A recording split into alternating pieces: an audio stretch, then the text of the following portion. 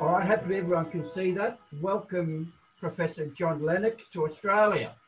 Um, Thank you very much. I know it's a virtual trip, but we are delighted to have you being with us on this very, very uh, important occasion. I know the the the mood out here is uh, very, very favourable in terms of having someone such as yourself uh, enlighten us on the issue of faith and science, and we'll come to that topic later.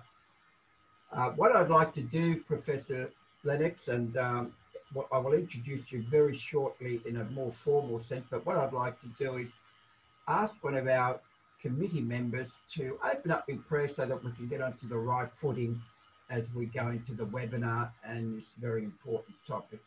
Graham, would you be able to open in prayer for us? Thank you. And then I'll do the formal introduction. Thank you, Graham. Certainly. Thanks, Greg.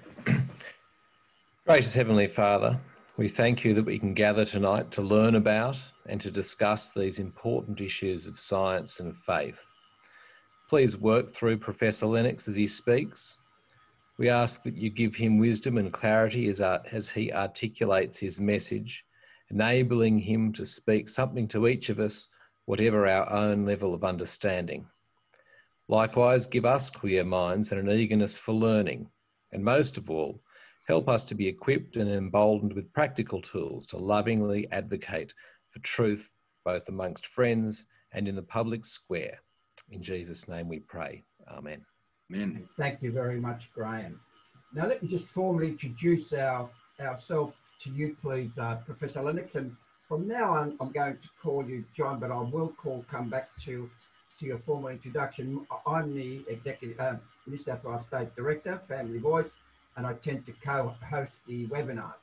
John, of course, is our New South Wales Chairman, and we have a National Governing Board member, Reverend Peter Robinson. So they are the people that will be your interviewees, uh, interviewers tonight. Uh, Professor Lennox, also, I'm very excited to announce that you are indeed Professor of Mathematics at Oxford University, but I'll expand on that in a moment. But I've just found out also that you've got some books coming out. And I'd like to alert our, our, um, our audience that uh, 2084 Artificial Intelligence and the Future of Humanity. That's a fascinating title in itself. And of course, that, that's available at the website or, of course, on your own website, johnlennox.org. But I have to tell you that, that one of my favourite books as I was studying uh, some ministry work was when I was handed a book called Where uh, uh, Can Science Explain Everything and Where is God in the Coronavirus World. And these two books have, uh, are available at the moment and they make fascinating reading. But the one I wanted to alert you to was Seven Days That Divide the World now, I have to tell you, I'm not a mathematician. I can't even balance my checkbook, but that's a fascinating book, and I love the the mathematics and the and, and, and the intrigue that goes with it. So I recommend that for anybody to read if they can, because I don't know how you did it, Professor, but it's an outstanding book and certainly uh, re reaffirmed my faith. So I alert that to everybody, and I'm hoping that uh, we'll make that available. But of course, your current book coming out will be available at the end of this year. Is that correct, Professor? The book is already available. It's already available, it's so been, I, will, I will send it to all our all our supporters and have them look at that. All right, so what we'll do now is, if I may, I'm going to introduce you formally, just very quickly, so that'll set the mood, and I think it's important that everybody's aware of it. For those that don't know, John Lennox, Professor of Math Mathematics at Oxford University, is an internationally renowned speaker on the interface of science, philosophy and religion. He regularly teaches at many academic institutions, is senior fellow with the Trinity Forum and has written a series of books exploring the relationship between science and Christianity. Fascinating topic.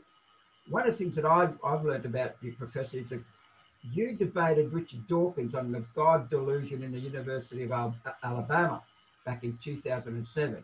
And, and you have, uh, and on Has Science Buried God? in the Oxford Museum of Natural History 2008. You also debated Christopher Hitchens, which, which would been fascinating, I would have thought, on the new atheism, which was at the Edinburgh Festival in 2008.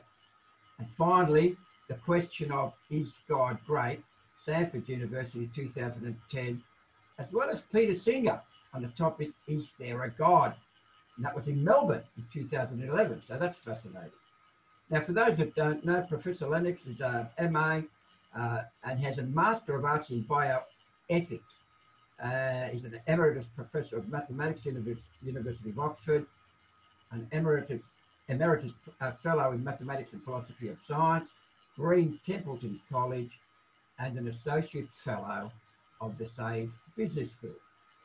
Well, one thing I must mention for everybody is, and I'll have this sent out to everybody that's registered, we are eagerly awaiting later this year for the new Pensmore documentary, Against the Tide, featuring Kevin Sorbo and yourself, Professor, in a conversation about God, science, and the evidence for the truth of Christianity.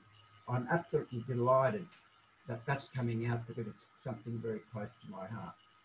Professor, tonight's format will be we're going to ask you questions, you're going to respond, uh, and we prefer that uh, we will sort of interview you, so we're going to jump around, but uh, please take the time to uh, answer the questions in your own way. But I'd like to kick it off very quickly because, John, I've heard you've, you've debated most of the well-known cynics on the, compat- on the compatibility of religion and science. Your main, opponent, your main opponents have called themselves the four horsemen of the apocalypse. And these people were a la Richard Dawkins, Christopher Hitchens, Daniel Dennett, and Sam Harris. My question to you, Professor, to kick it off, and then we'll hand over to the others, is John, is it harder to be a Christian than an atheist? That's a very difficult one. Uh, it depends whether you mean from an intellectual point of view or a truth point of view. I myself, as a scientist, I feel that atheism actually is so seriously flawed that for me to think of being an atheist would be very difficult because it would just land me in so many contradictions because I think atheism is false.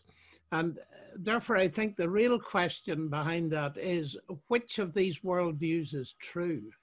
Now, the debate is about worldviews. That's the very important thing to grasp. It's not about science versus God. And it's very easy to see that that is the case because if you take the Nobel Prize for Physics, for instance, it um, was won some years ago by William Phillips, an American who's a Christian. And just two or three years ago, it was won by a Scotsman called Peter Higgs, who's an atheist.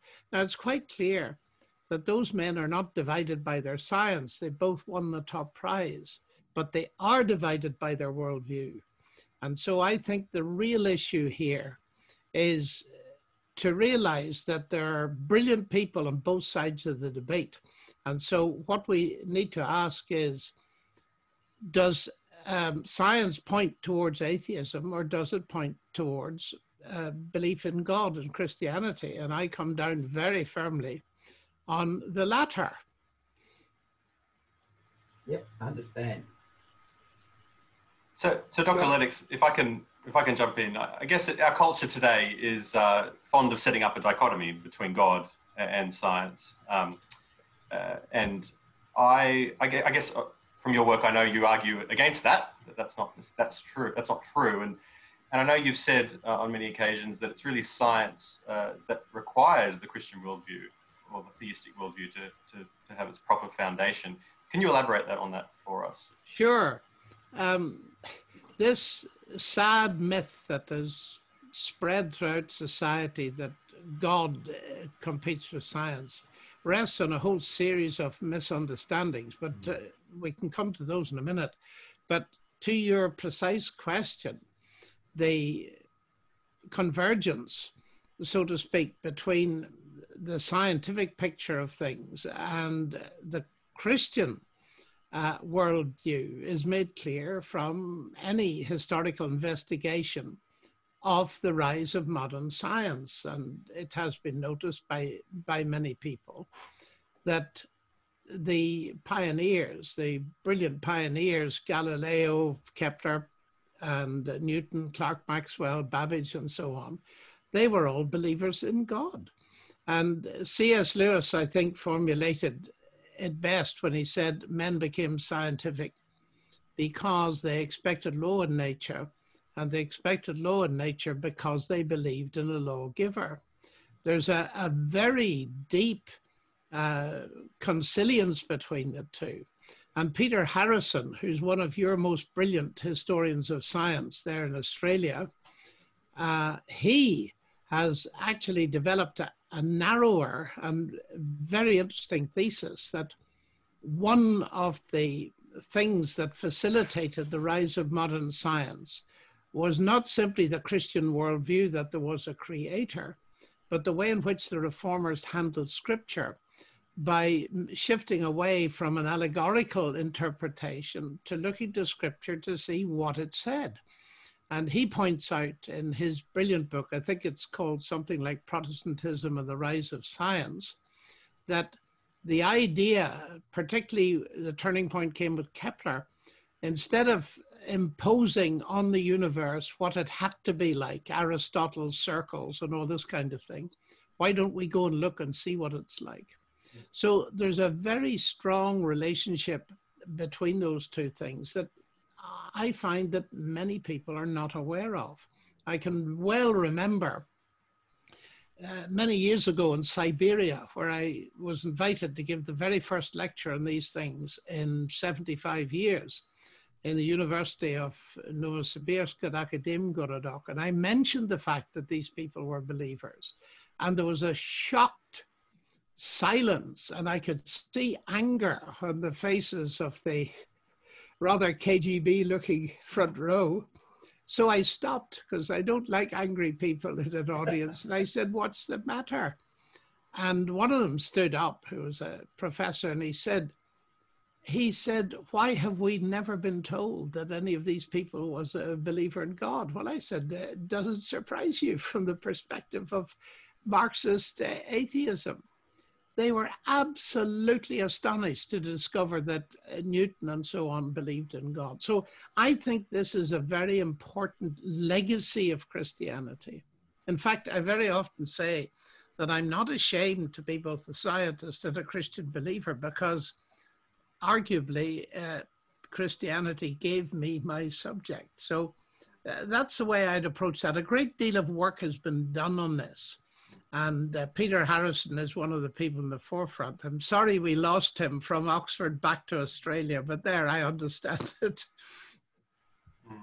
So, Dr. Lennox, uh, atheists might respond and, say, oh, well, people like Kepler and Newton, they were products of their time and their Christianity was, was a product of the culture they were in. And I, I guess, why do you, why do you um, contend that, the, that their Christian worldview was fundamental to their science? Um, why, why can't you do science without that fundamental, or why can't well, you do science consistently with a fundament, with that, unless you have that Christian worldview? Oh, well, of course you can do science. Um, I've just told you about atheists who won the Nobel Prize, mm. but what we're talking about is the origin of science, and that's mm. slightly different of modern science.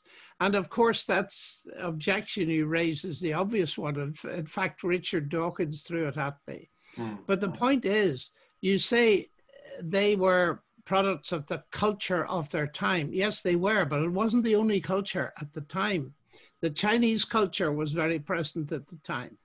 And the very interesting thing about that is that research was done by a very famous chemist and sinologist who uh, worked at Cambridge, I think. And he was very concerned to explain why the Chinese didn't develop any concept of abstract science. They did a lot of technology, fireworks, um, all kinds of hydraulic engineering, and so on, but never abstract science. Now, this man was a neo, was a Marxist in his opinions, and he tried to resolve it using Marxist philosophy, and he couldn't. And in the end, he admitted that the only difference he could see between the Chinese and the Western thinkers was that the Chinese lacked the unifying concept of a single creator who created the world intelligently to run on certain fixed laws. So there you can see it from the opposite direction. The Christian culture did deliver, whereas the um, culture that didn't have this unifying concept of a creator did not deliver. So that gives you a bit of evidence in the opposite direction. So I, I think when you say something is a product of the culture, that of course doesn't say anything about the truth and falsity of the conclusions they come to. and therefore, I would say that.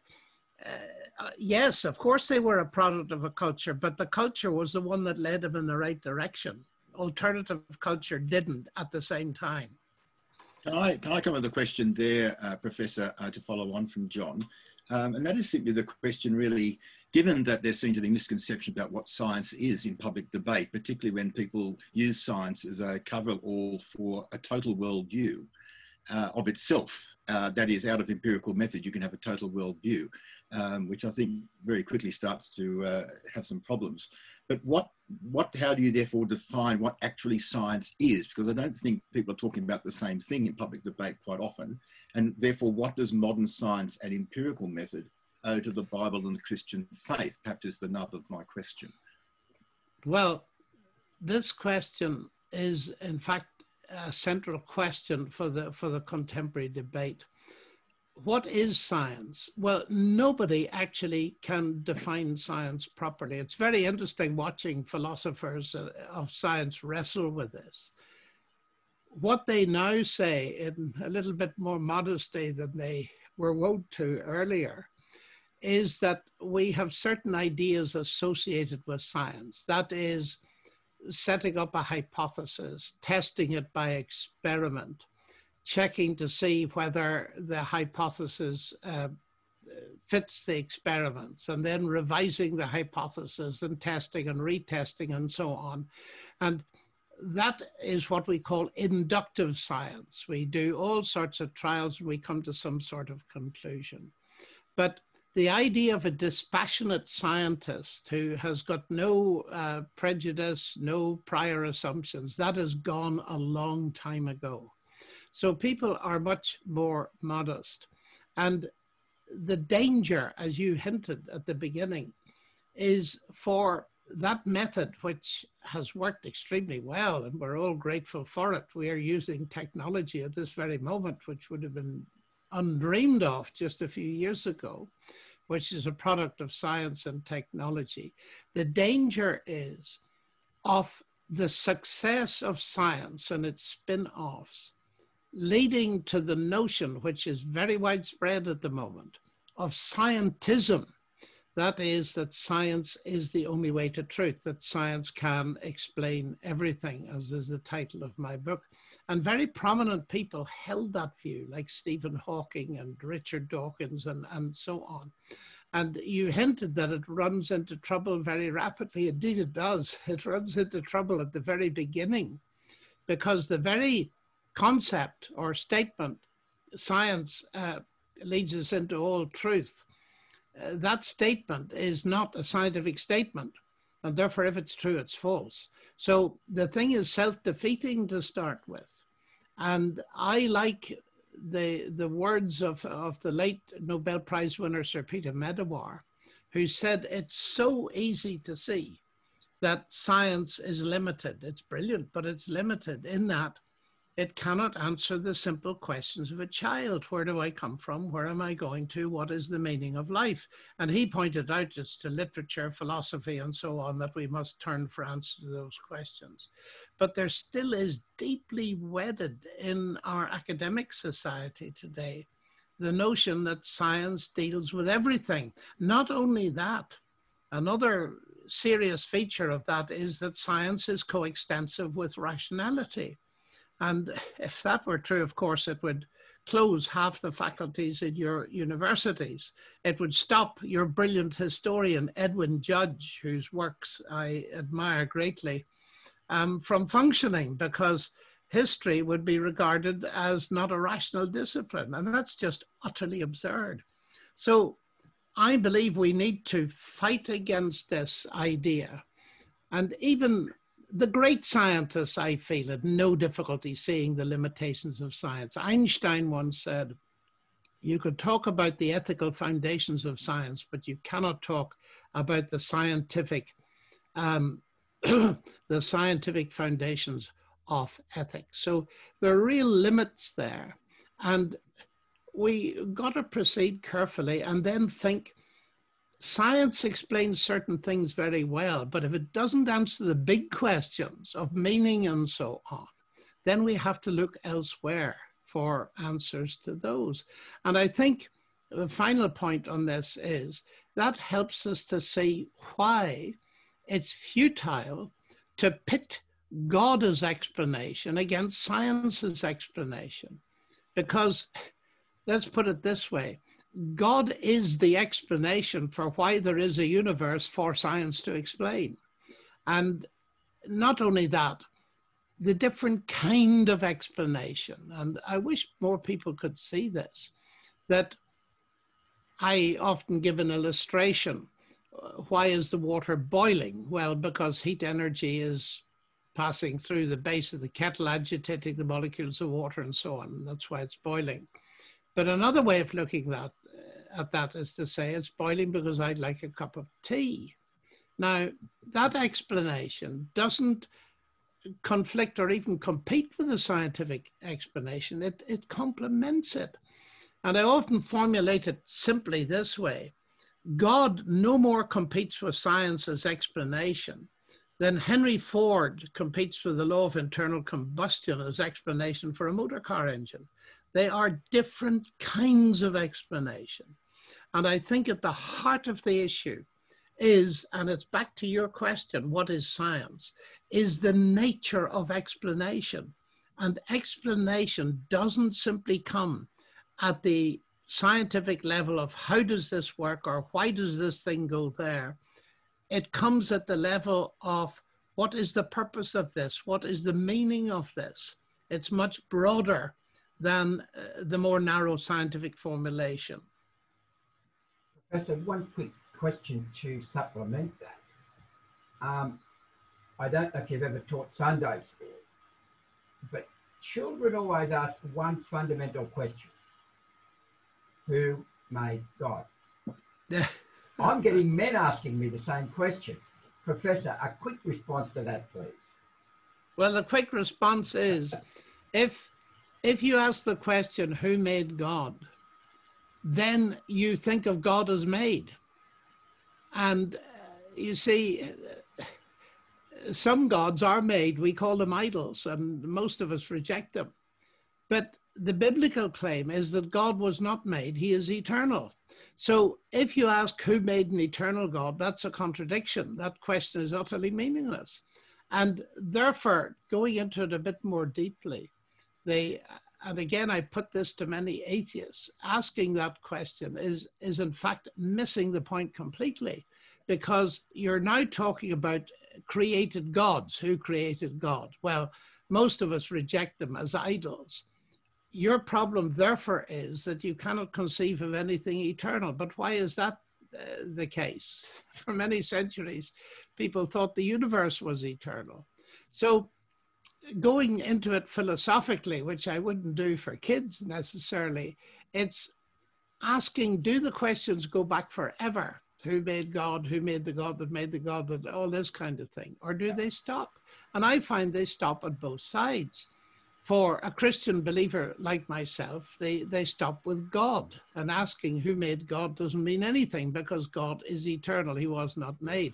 But the atheists also stop you see, when Richard Dawkins put this question to me, by the way, I never expected to hear it from an Oxford professor, but there, as you say, adults ask it.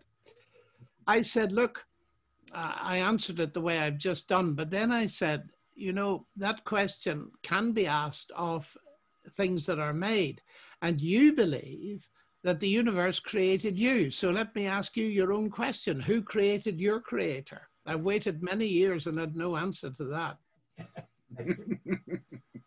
I'm Peter.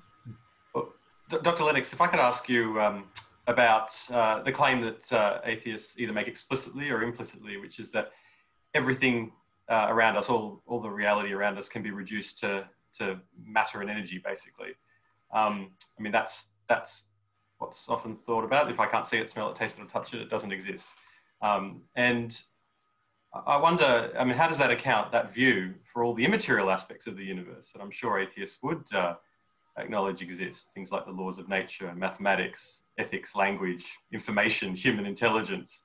Um, well, you've answered. Can those things be explained by, by um, matter and energy or reduced to matter and energy only? You've answered your own question. Of course it doesn't. And reductionism, this is uh, what's known technically as ontological reductionism. I was taught quantum mechanics at Cambridge by Professor Sir John Polkinghorne, and he's constantly at pains to explain that if that reductionism is true, we could never know it because thought simply becomes the firing of synapses and therefore has no meaning whatsoever.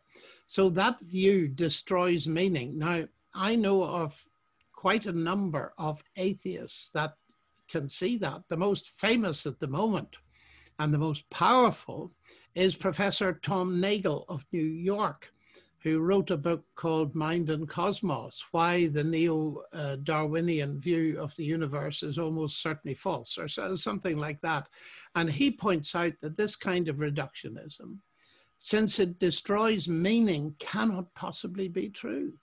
And I meet many people who try to convince me that this is the case, but more serious people like Denis Noble in, in Oxford, the father of systems biology, just points out that this uh, leads to utter meaninglessness. And you put your finger on a very important thing, and that is um, to abstract slightly from it, we live in an information age, and information is not material, although it's frequently carried on material things.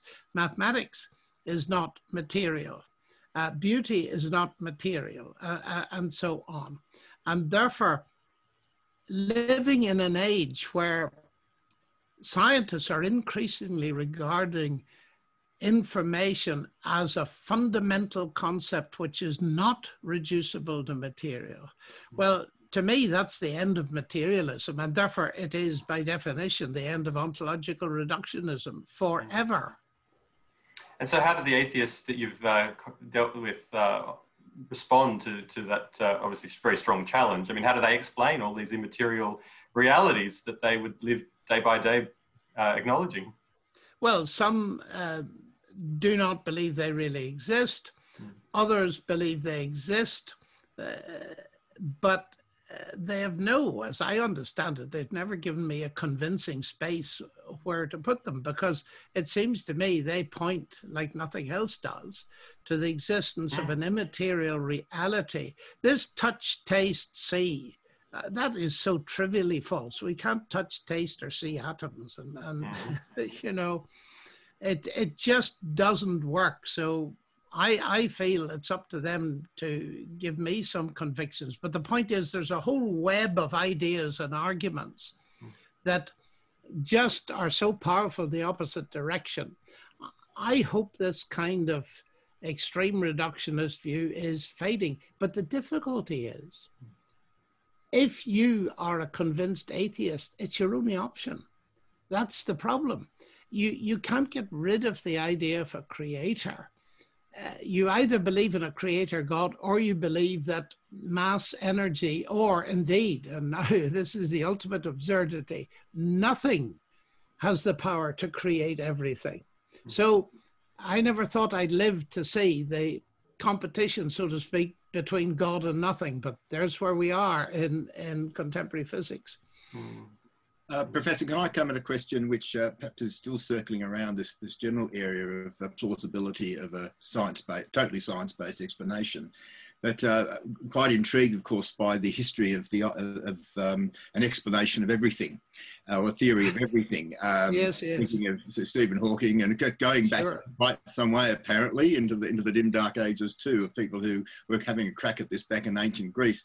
Um, but uh, I, am just wondering if um, the quest. My question is: the quest for a theory of everything has been a significant feature of physics for more than a century. In fact, for much longer. There's such a notion that a full unifying theory of matter and energy is possible, despite objections and obstacles. I understand that, that spin theory is unraveling, uh, um, arise from the assumption that science can be a sufficient basis for fully understanding our existence and purpose. Because it, so much energy has gone into, Einstein did it, uh, Hawking's done it. Um, it, surely, with all that amazing brain power, could it be so fundamentally misplaced? as, as a final explanation?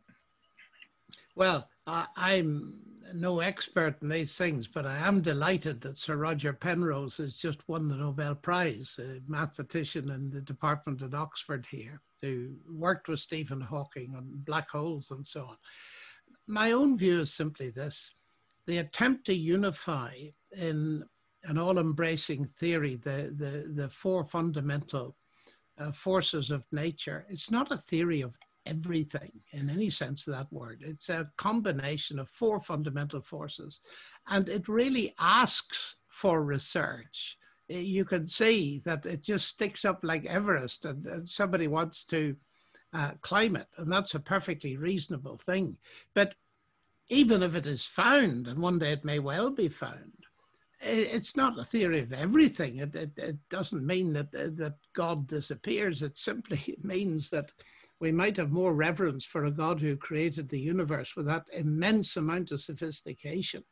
So I don't see it in any way as a threat. I see it as something extremely interesting. And uh, one of the great unresolved questions that Einstein couldn't do and Hawking couldn't do, it may never be done but even if it is done, in the end, it'll only be mathematics and, and physics. It won't be talking about what Nobel Prize winner Richard Feynman called the meaning of it all. Professor, one quick question. Have you heard of Jordan Peterson? Indeed, I've heard of Jordan okay. Peterson. I have a quote for you. Mm-hmm. And the Canadian psychologist and commentator said recently who would have the audacity to claim that they believed in God? Comment. well, Jordan Peterson is a fascinating intellectual figure. And I must confess, I, have derived a great deal of pleasure and interest in listening to him, especially in his talks on Genesis.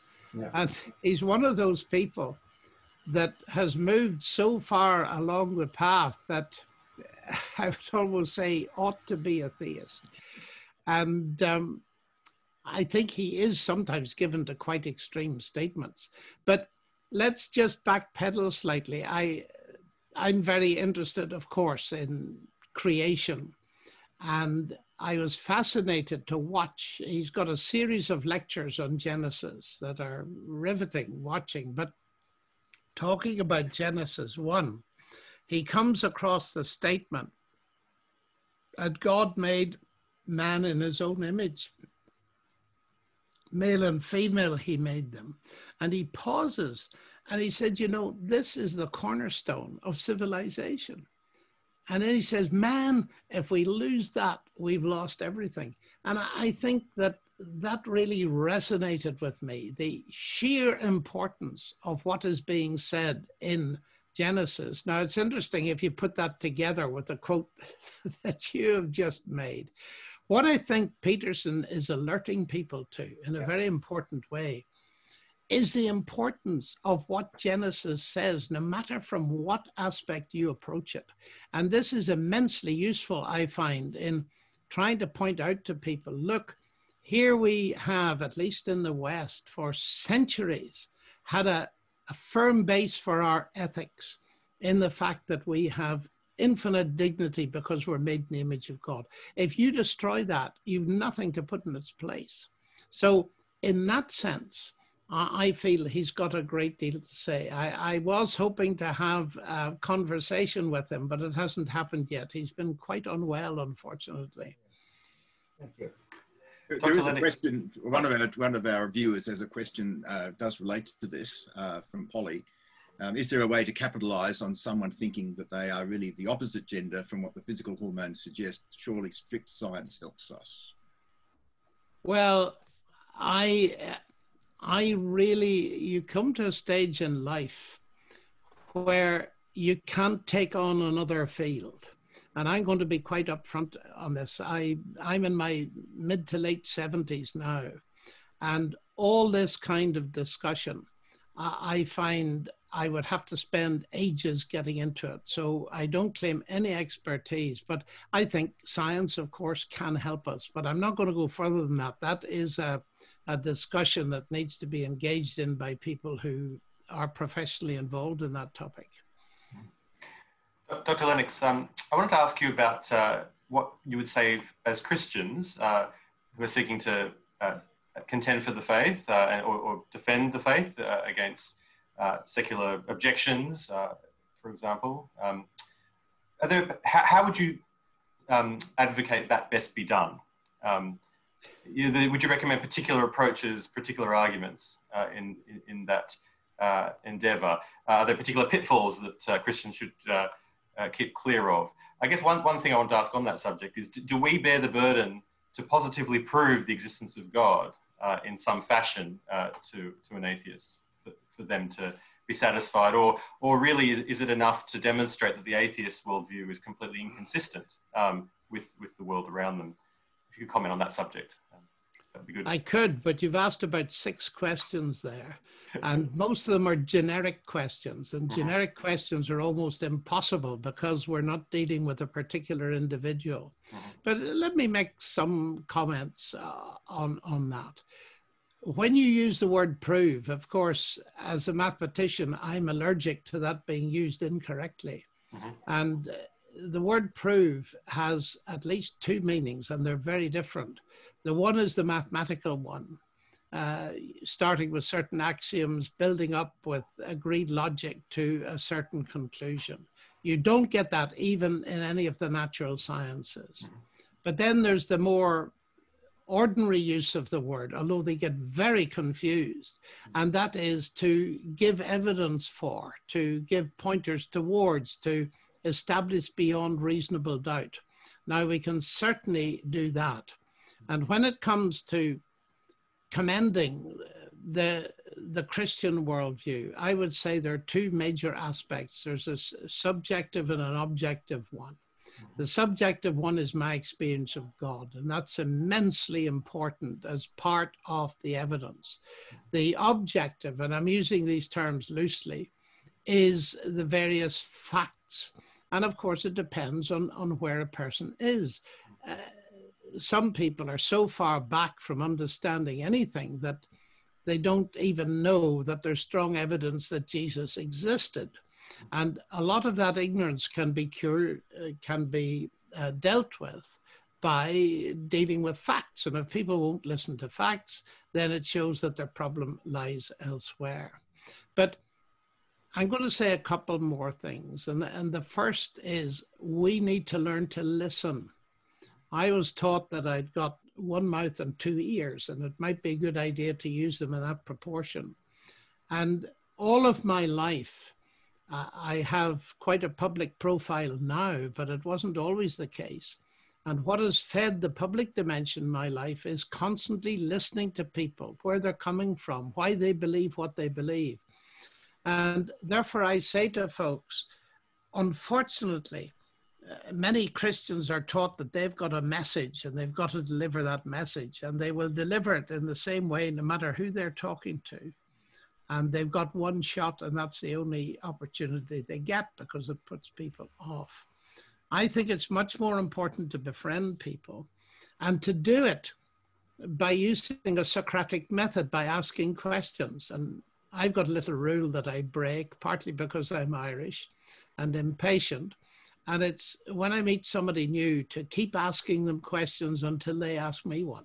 You'd be amazed at how much you will learn about someone by doing that. Mm. Now, uh, this is a hugely important topic. Mm. The Apostle Peter says, always be ready to give an answer to those or a defense to those that ask you a reason, a logos concerning the hope that is within you. And it took me years to grasp that that was not talking about preaching. People ask you. In other words, it's talking about a conversation, one to one conversation. And I, I think that's what we should concentrate on. And uh, often people get into despair, Christians, and they think I've got to read a dozen book on apologetics before I can do anything. I say, no, no, no, no. Talk to your friends, ask them questions, find out what their difficulties are, and then you spend time privately getting answers to those questions that you can share with your friends. Those answers will stick with you all your life and they'll be real. Now, I've been asked your questions so many times, uh, John, that. Mm I've written a little book uh, about it, which you may not know. It's the hmm. cheapest book you'll ever buy. It's called Have No Fear, mm-hmm. because behind your question is the fact that many people they'd love to engage, but they're either afraid or ashamed. Hmm. And my little book is absolutely practical from beginning to end, just hmm. to share with people the things that I have found over a lifetime that help me engage. And help people to take the Christian message seriously. John, I have a question from a nine year old who's listening into the program tonight, obviously with his dad or mum. And the question is Do you think the Big Bang could have happened? Uh, well, thank you. I love people. I was once nine years old myself. and I would ask questions like you. But let, us think about it. What does Big Bang mean? Now, I knew a little bit the late Sir Fred Hoyle, who was a brilliant cosmologist. And he it was who talked about the Big Bang, but it was a joke because he didn't like the idea of a beginning. And in the 1960s, when I was younger, evidence came in for scientists and they started to think, goodness, there must have been a beginning. And it was a Catholic priest, Georges Lemaitre, who first, much earlier on, had this idea that there must have been a beginning in some kind of, well, what they call a singularity, a, a start. And it was that that Hoyle jokingly called the Big Bang. But it's just a label on a mystery, actually. And it's wonderful because it says there was a beginning. So science believes there was a beginning. Now, the Bible has been saying that for thousands of years. And I was once in a conference with some very famous people, and they, I talked about in the beginning, God created the heavens and the earth, and they stopped me. There were quite some anger and said, Professor Lennox, you do not mean to tell us that the Bible is anything useful to say to us in the 21st century? I said, Yes, it does. I wasn't joking at all. It does, because you see, it says there was a beginning. Now, it was only in the 1960s that you scientists came to that conclusion. And let me make a suggestion to you. If you had taken the biblical worldview more seriously earlier than you did, you might just have looked for evidence for a beginning before you did. So you don't have to be afraid of Big Bang. That's what scientists call it, but they don't know exactly what it was, but they do know it was a beginning. And we can add to that that the Bible says yes, and it was a beginning caused by God. Professor Lennox, um, the miracles of the Bible, um, uh, for example, a, a, question by atheists saying, well, how could the Bible be re- uh, true and reliable uh, given uh, passages like Joshua 10.13 where the sun and the moon stood still or, or, or Jonah obviously being uh, swallowed up uh, by a large marine creature, um, etc. Or obviously resurrections from the dead, you know, that's not very scientific. Um, so we don't see that happening today. Um, how do you uh, deal with those common objections to, to the, to well, the that occurrence comes of back to miracles? Peter. That comes back to Peter Robinson's uh, original comment. That is a rests on a misunderstanding of what science can and cannot tell us, and all this objection to miracle. And of course, I meet it a great deal. Goes back for most of my colleagues goes back to David Hume, uh, the Scottish Enlightenment philosopher who once wrote, Miracles are violations of the laws of nature, therefore, essentially, they cannot happen. But he misunderstood the situation. And just before he died, I was not Hume died, but uh, the philosopher Ant- Antony Flew died, who was the world expert on David Hume. I had the opportunity to interview him. And he told me in great modesty and honesty that he'd been completely wrong about um, David Hume. Hume's objections to miracles do not work. They're fairly easily shown to be false, as I once said to Christopher Hitchens, and you can see it in my debate with him. But to come down to it, perhaps the easiest way of seeing it is to use an illustration due to C.S. Lewis if I'm staying in Sydney in a hotel, which I've done several times, wonderful hotels with a view of the bridge, I must mm-hmm. say, and I put a hundred dollars into my bedside drawer on the first night and another hundred the second night, I've got two hundred dollars. You would think. But if on the third morning I wake up and find fifty dollars, what do I conclude?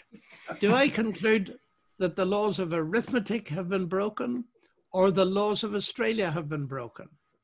Now, it's pretty obvious that the laws of Australia have been broken. How do I know they have been broken? Because the laws of arithmetic have not been broken. You see, one plus one equals two, yes, provided nobody interferes with the system. And my mistake was to think that my drawer in my room in the hotel was a closed system of cause and effect, which many people think the universe is. But it isn't. So a thief can put uh, their hand in and steal $150. The laws of arithmetic won't stop the thief. And the great confusion, and I could say a lot about this, but I have written about it in my book, Can Science Explain Everything? The laws of nature are not causes. They are descriptions of what normally happens. Uh, the laws of Newton will tell you roughly the trajectory of a billiard ball, provided nobody lifts it from the table, but they can't prevent it doing that. So here's the irony of the whole thing.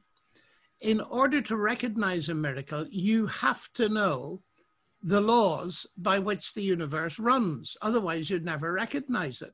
If uh, you didn't realize that dead people normally remain dead, you wouldn't be the slightest surprised at, at a resurrection. And Hume went on to say something even more absurd. He said, uh, belief in miracles arose in primitive times when people could easily believe them, but that isn't true. When um, Joseph discovered that Mary was pregnant and she talked about an angel, he simply didn't believe her because he knew exactly where babies came from. And it took very powerful evidence and convincing coming directly from God through an angel to convince him of what had actually happened. So, those kind of objections I find uh, pretty trivial, but it needs to be teased out because people somehow feel that science disproves the kind of miracle in the New Testament. Now, I've added that phrase because, of course, there are lots of claims for miracle that aren't genuine at all.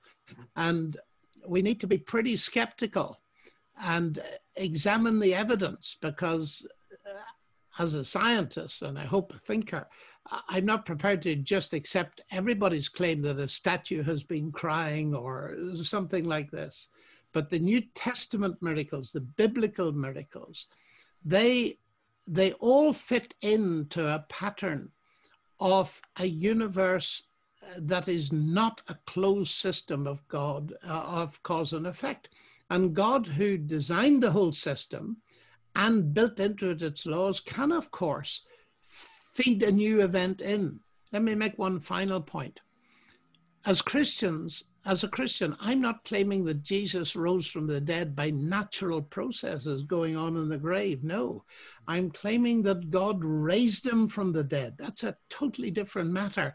That is, there was an input, an injection of energy and power from outside an open system. Hmm. And there's nothing in all of science that can prevent that. Science can tell us about the regularities, of course, and historical science, if I might call it that, investigation of past events that you can't repeat, can give us strong evidence that these events occurred on occasion. John, can I uh, can I ask a question which takes us on to uh, a question about the Bible more, in more detail, perhaps more generally uh, in principle, um, particularly since Genesis one to three is such a focus of so much perhaps angst amongst Christians about the questions of science and faith. Um, and you are, um, apart from your, your, your, mathematics and your philosophy of science expertise, you're also um, um, an, an, excellent expositor of scripture to many people. And I've been one of those up at Katoomba, uh, here in the Blue Mountains where I am.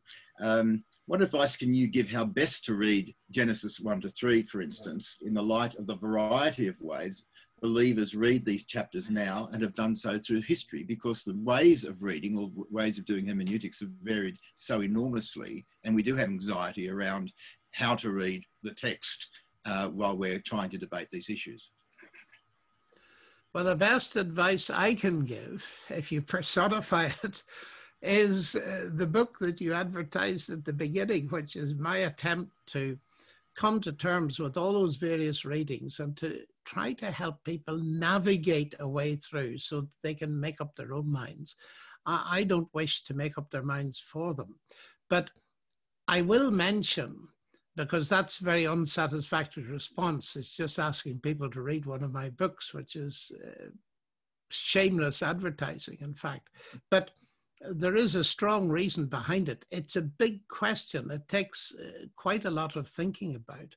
And the, the problem is, I think, partly, and this may surprise some people, that we don't take the Bible seriously enough. Now, let me take just one of the points, and that is the idea that puts many people off. They say science has shown that we live in an ancient universe, and the Bible seems to indicate it's very young. Now, that is deduced, and oddly enough, I make a confession here my hometown is Armagh, and Armagh is the seat of the famous Archbishop Ussher, who calculated that Adam was created in, I think, the 5th of October, 4004 BC, but more accurately, he couldn't place it, he, he wrote. But when we look at scripture, and I'm not a Hebrew expert, but I know several and I can check with them. The very interesting thing is, if you look at that text, in the beginning, God created the heavens and the earth. That is a statement that's followed by a sequence, the famous days. And each of those days uh, begin with, and God said, and God said, and God said. Now, that is hugely important because it is encapsulated in the first sentence of the Gospel of John. In the beginning was the Word and God said, This universe came to be through a series of speech acts, not through random unguided processes. Now, that's saying a great deal and it's concentrating our minds on information. But that often gets lost in the fact that people say, ah, but uh, this was a short time ago. Well, I say, just a moment. One of the interesting grammatical things about the text is Hebrew has two past tenses.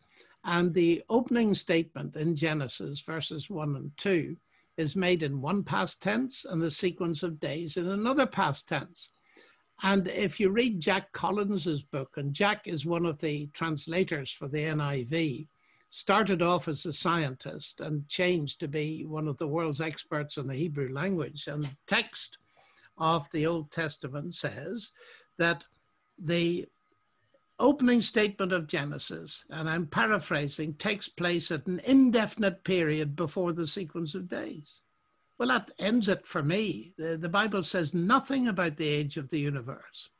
And so a lot of this fighting has been to read into the Bible more than it says. Now, I don't want to read into it less than it says, but there's a huge danger in trying to protect Scripture by forcing it to say more than it says. And the irony of this is that no matter what you believe about the days, um, it doesn't insist on the universe or the earth being young. So that's the first thing.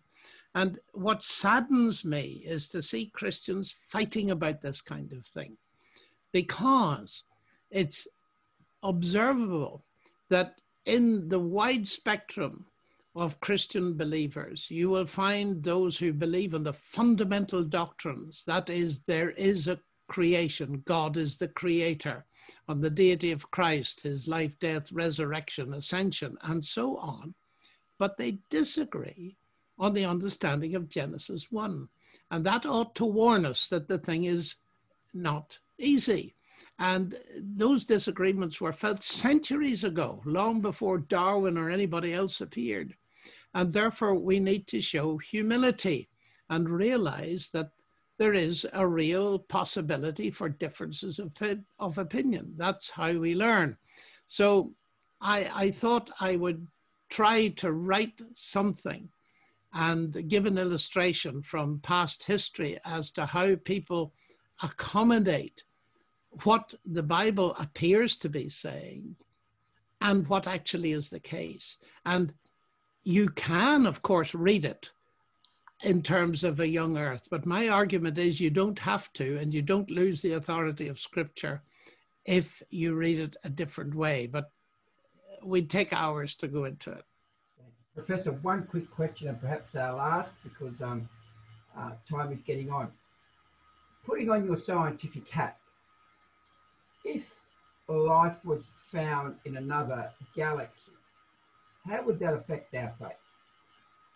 Well, it wouldn't affect mine because uh, the Bible tells us there is life elsewhere. That, you know, I, I Paul Davies, who used to be in Australia, who's a very well known physicist, and I know uh, we were once, he, he wrote a book called Are We Alone? And um, he says, uh, as a human, he hopes we're not alone, but as a scientist, he thinks the evidence is that we are alone. And of course, he was launching his book, so he was on the radio program first. And then I was asked what I thought uh, about extraterrestrial intelligence. And I said, there's one very big one. He's called God. And I, I think uh, the fact that the Bible talks about intelligences like angels and spirits and demons would warn us that whatever we exist in, there's a material universe, but there are things beyond that. We need to be very careful before we um, make pronouncements. And anyway, how could it alter my, my, faith in God? God hasn't told us everything. He's allowed us, thankfully, to explore his universe. He's told us in scripture what we need to know about the meaning of it, but he hasn't told us anything, either plus or negative, about these other things, except a hint that the whole thing, whatever you want to call it, is vastly more sophisticated and complicated than not only than we imagine, but than we can imagine. Thank you very much, Professor. Um, we've come to our time, it's ending. Um, I have to say, we are delighted to have you share your thoughts and faith with our um, listeners. Could I ask Graham to close in prayer and uh, then I'll bid everybody farewell for the night. Thank you, Graham. Certainly. Thanks, Greg. Let's pray. Almighty God, we thank you for the opportunity tonight to discuss these most important matters, and particularly for the opportunity to engage with Professor Lennox. We thank you for him and for the great gifts you have given him. Please encourage and strengthen him as he continues to engage in intellectual discourse in the increasingly hostile public arena, mm. continuing to give him both the wisdom to make effective arguments for truth and also the love required to win people's hearts through his conduct. For the rest of us, Father, we pray that you'd help us to walk away from tonight with a refined understanding of the issues, some of which we've discussed being the danger of scientism, the nature of explanation and purpose, and uh, understanding the limits of science, to name a few.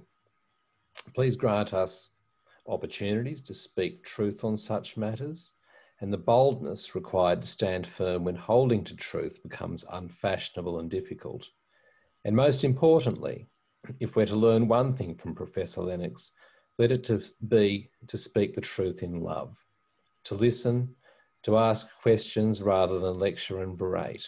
Like him, may we reflect Jesus in this way, and may a kind and gentle spirit of discussion be a defining characteristic of us all as Christians. In Jesus' name, Amen.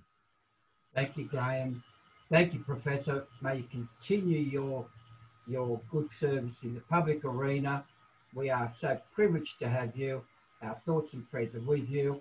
Uh, this will be this has been recorded. We'll send you a copy. May I thank everybody that joined us tonight to pray for Professor Lennox as he continues his mission field, and may he also keep taking on the John uh, the Dawkinses, the Richard Dawkinses of this world, because really out there we need to stand up for what we believe in. Thank you, everybody. Uh, good night, and thank you, Professor, for joining us from all the way from London, UK. God bless you. Bye bye. Good night.